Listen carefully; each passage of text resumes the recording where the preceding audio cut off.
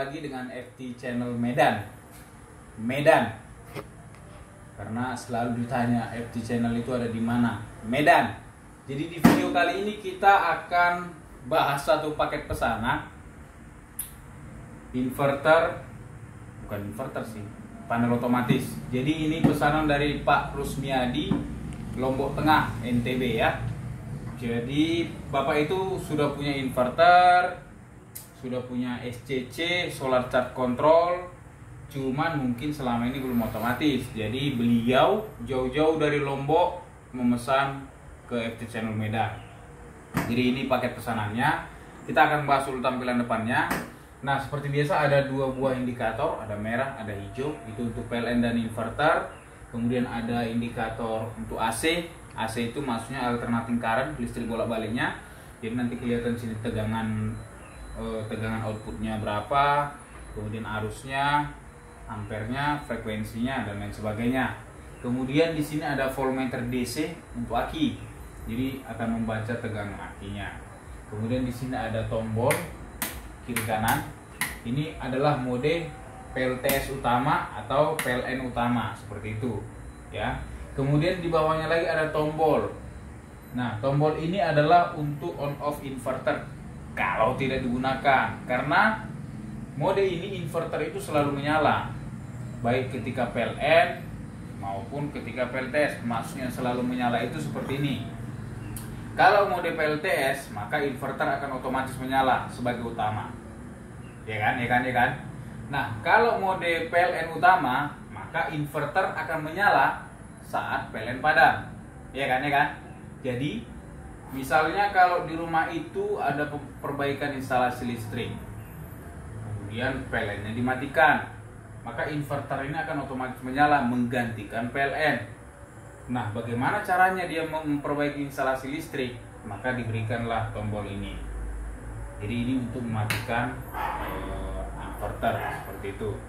Nah, kalau di mode PLTS harus dibuat ini karena inverter itu dua mode jadi dia selalu menyala seperti itu. Kalau di mode backup dia nggak perlu ini. On off nya di sini semua sekalian. Kalau di off kan ya mati inverternya. Tapi kalau ini mau ke sini dia ada inverter menyala mau ke sini juga ada inverter yang menyala. Seperti itu. Maka difungsikanlah tombol ini supaya mematikan inverternya kalau sedang tidak digunakan ya.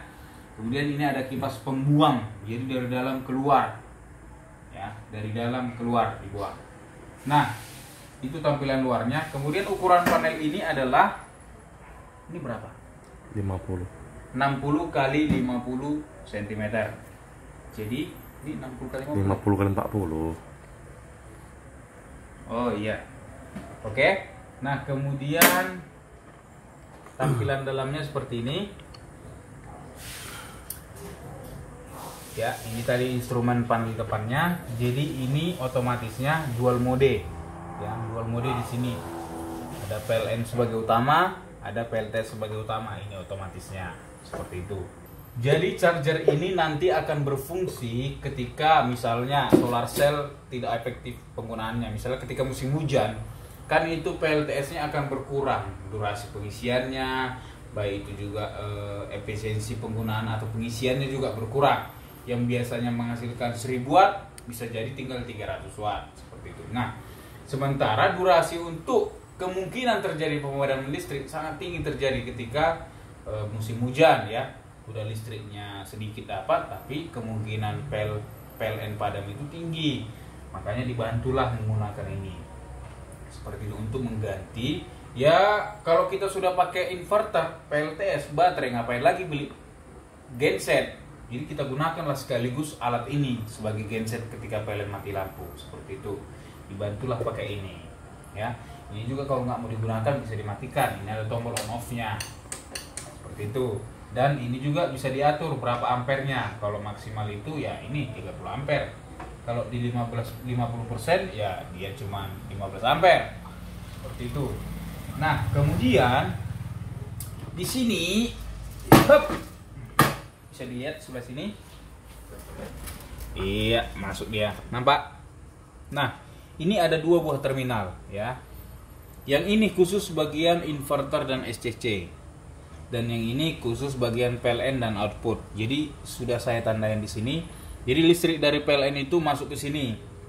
L itu line, api, N itu netral. Jadi api itu yang mana? Yang di test pen nyala. Netral itu yang di test pen nggak mau nyala. Itu test pennya rusak, buang aja. Oh bukan, memang nggak nyala dia. Dan output itu yang ke rumah seperti itu. Nah ini adalah outlet khusus inverter. Bisa dilihat inverter. Nah, di sini ada in LN. Nah, ini artinya dihubungkan ke output inverter. Jadi inverter itu kan ada outputnya 220 voltnya. Yang untuk colokan itu loh, Bos. Nah, itu dimasukkan ke sini. Bisa pakai colokan, kabelnya dimasukkan ke sini. Ya. LN. Nah, nggak usah bingung-bingung mana L mana N karena di test pen dua-dua nyala itu. Test pen aja mana yang paling terang dari antara yang terang, itulah yang apinya. Yang sebelahnya lagi terang tapi tidak terlalu terang daripada yang terang, itulah netralnya. Iya, saya juga bingung. Nah, ini SW adalah switch. Switch itu adalah tombol on off inverter. Jadi inverter itu pasti ada tombol on off-nya. Nah, ini satu dua itu adalah dihubungkan ke tombol on off ya. Kemudian ini ada kita lihat SCC. SCC itu adalah Solar Charger Controller. Ya. SCC. Nah, jadi SCC itu kan ada 6 bi biasanya. Ada dua untuk solar cell, 1 2, kemudian 3 4 untuk baterai, output ke baterai dan 56 untuk beban yang ada gambar lampu. Nah, yang gambar lampu itulah dipasang ini. Plus min. Jadi di situ nanti ada plus, ada minnya. Yang gambar lampu terminal 5 dan 6 plus masuk ke plus min masuk ke min. Nah jadi nanti solar cellnya itu dikontrol oleh SCC itu durasinya. Bisa hidupnya berdasarkan tegangan dia tegangannya naik dia PLTS aktif tegangannya rendah PLTS off. Atau bisa berdasarkan jam-jaman. Nah itu semua diatur di SCC nya jadi caranya baca SCC masing-masing buku petunjuknya. Masing-masing SCC beda pengaturannya. Bisa diatur jam-jaman bisa diatur pakai waktu bisa diatur berdasarkan tegangan dan bisa dihidup matikan berdasarkan SCC itu. Jadi baca kembali SCC nya itu dihubungkan ke sini. Nah ini dihubungkan langsung ke aki ya. Ya ini standarnya dia sih. Makanya ada ininya. Ya, mungkin nggak sampai ya disambung aja bos karena cuma ini standarnya dia. Kalau kita yang nyambung nanti dikira barangnya second karena kabelnya sambungan ya. Jadi kita nggak sambung supaya dikira tetap baru padahal memang baru. Oke? Jadi saya rasa cukup demikian video ini. Ini outlet khusus untuk charger ya bos. Jangan dipakai untuk yang lain-lain. Jadi ini charger ke sini. Karena ini nggak menyala terus. Ini menyala hanya ketika mode PLN nya aktif seperti itu kalau PLTS aktif dia nggak keluar Oke, saya rasa cukup demikian video ini. Untuk yang pesan, Pak siapa tadi? Rusmiadi ya? Pak Rusmiadi di Lombok Tengah. Tengah NTB. Terima kasih sudah memesan. E, kalau ada yang kurang jelas dari video kita kali ini, bisa WhatsApp kita di nomor yang ada di video ini. Dan tentunya juga Pak Rusmiadi sudah punya nomor kita karena Pak Rusmiadi memesan ini langsung dari WhatsApp transfer langsung ke kita. Jadi terima kasih sudah memesan dan terima kasih juga untuk penonton setia yang sudah menonton video ini sampai habis. Kiranya video ini dapat membawa wawasan kita bersama dan jangan lupa like, komen dan subscribe. Sampai jumpa di video selanjutnya. Bye bye.